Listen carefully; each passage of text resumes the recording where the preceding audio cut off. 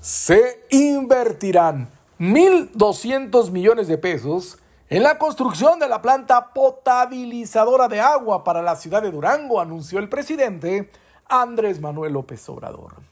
La gestión fue realizada insistentemente por el gobernador Esteban Villegas ante la afectación a la salud bucal de los duranguenses, ya que actualmente el agua que llega a los hogares es extraída a grandes profundidades y tiene una alta concentración de flúor. El caso se nos hizo tarde, eh, pero le dije, le dije a Esteban, le dije, este, antes de terminar,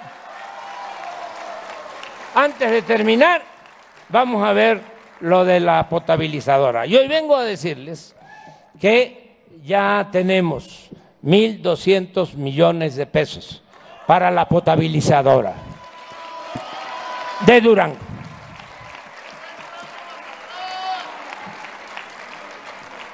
Y con agua, la Comisión del Agua se va a hacer cargo.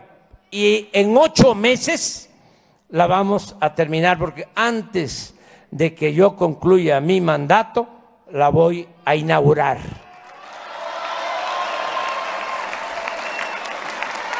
¿Le van a aplaudir a Esteban, sí o no?